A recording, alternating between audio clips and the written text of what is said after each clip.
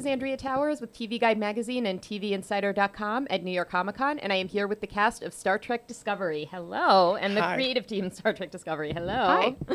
How are you? Great. How are you? I am good. So, you just unveiled a pretty cool little tease of season five. Yeah, it was the first time I saw it too. I mean, not your first time, but definitely my first time. So no, we were blown away by it because you know we've been working on it since June. So it was the first time we kind of saw, except from a little sizzle, uh, the first time we kind of saw some of it pulled together. So that's always really exciting. So, what was it like being in that room and hearing the fans' reactions and seeing their excitement when you put that footage up there? It was pretty awesome. It was pretty. It's it's always pretty exciting to get to um, release footage for the very first time. It's it's the same feeling when the episodes come out because we work on them for so long. It takes so long to get any given episode done that when people finally get to see it, it's something pretty special. And that's a huge hall, you know, Yes. and it was packed, and so the Which. I didn't know until the lights came right, up. Right. And then the lights came up, and, and we're like, very, oh, look at all these people. people. uh, but um, it's always, you know, we do this for the fans, right? We're excited for their reaction, so it was it was uh, gratifying to say the least. Well, I was going to say, you're now going into season five. Have you seen the fan base change over the, the course of the show um, in terms of you know, how dedicated people are or the amount of people that have come in to, to the show since you started? Yes, um, you know, I think, you know, when we when we first appeared, you know, the it was a it was a new Star Trek. It was a um, it, it, we we had a new take on it, um, and I think it took people a minute to adjust, and now they are on the ride with us, um, and they discovered these new characters and really embraced them, and um, I think they appreciate the fact that our cast looks like the world um, and and celebrates all of the diversity that's within that world. And um, and that we see that you can put together a team of people who save the world that are infinitely combined and infinitely diverse. Well, I mean, one of the things that Star Trek has always been great about through its entire generations of years that it's been on um, is it's always been uh, kind of about diversity. It's always given people a chance to see themselves, no matter how different they are, to feel accepted with a crew of people who, you know, appreciate you. Um, for you, Wilson, um, how is it to bring your character to life, kind of, um, you know, contributing to that incredible diversity uh, that the show has? you know, to be half of the first gay couple on Star Trek TV uh, in the beginning was just that was overwhelming enough for us, for Anthony and I, um, to do it together with Anthony Rapp, who has been my friend for.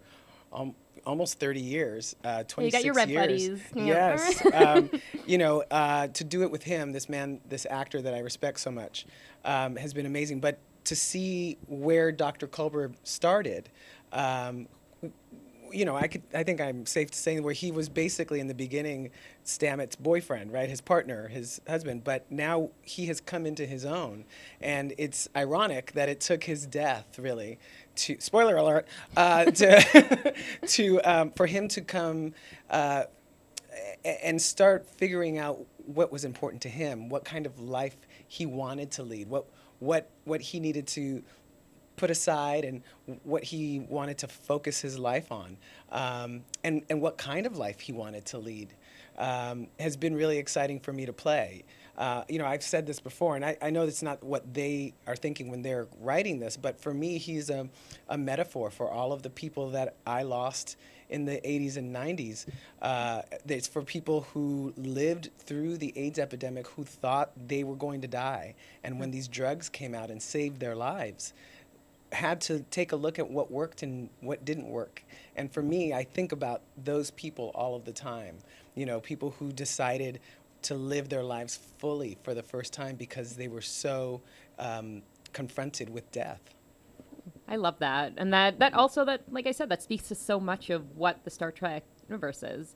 Um, and I know you know I know you had your little teaser that you put out, um, but what do you think fans are going to be most excited to see in season five? Without spoiling anything, That's why from your this to her. perspective, that's That's why, why she gets- next to her. that's why so she gets this can- question. Yeah, exactly. Um, I'm not sure if there's one thing in particular, but we, um, I, I think they'll be excited generally speaking about the season. You know, we, uh, there was um, a a bit of heaviness in season when we came into season three, Jump to the Future, come into season three, and the Federation was as uh, almost decimated.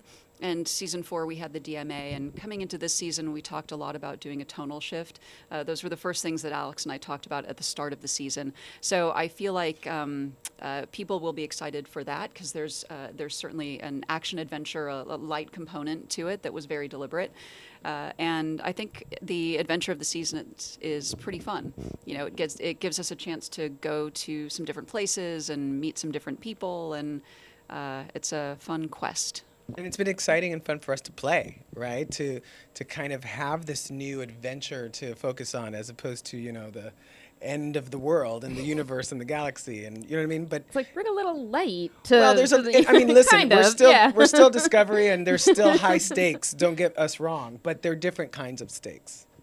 Good. But it's, it's a very human show. Um, well, yes, because yeah. you know it's no accident that it's called Discovery, Yeah. right? These people are not just discovering new planets and galaxies and species, but they're also discovering who they are and their strengths and their weaknesses and who they are in a team and what it takes, what kind of a team it takes to save the universe. And just how much fun are you having with the show being a part of this universe, just writing for it, acting in it? Is it like a total dream come true that you get to go to Comic Con and say, cool, I'm a part of Star Trek and I get to, to show that to people? Yeah, I mean, I it's mean- amazing. Uh, yeah, I, you go. and when then I, I, I- you know, if you had told me when I was a 15 year old kid watching Star Trek gener- um, uh, Next Gen uh, that I was going to be on Star Trek, uh, I, I would have called you crazy, right? uh, so it's it's literally a dream come true. Literally, like I would have, I would have been happy with the five episodes I was first contracted for, and somehow I'm still here five years later.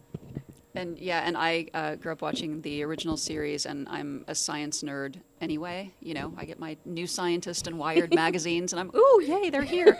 and so, getting to do a Star Trek show is is pretty amazing. And now you do that for a living. Now you can Yeah. translate all that science into Yes. something people watch, and it's great. Yes, and people actually like it. People like hearing about that. It's not shut See, up. with nerds are cool, Yeah. right? Stop with the quantum this and that. It's people are excited. I mean, it's it's it's surreal, right? I mean, Tracy Morgan did, had this this joke uh, on um, on Thirty Rock in one of the seasons where he says, "Why aren't there any Puerto Ricans in, in on Star Trek?" And well, now there are, you know. So I mean, like, it was so absurd that someone mm. like me would be on Star Trek that it would never occur to me. And yet here I am. And the fact that we get to kind of explore that culture and, and all of who he is, it's it's literally a dream come true.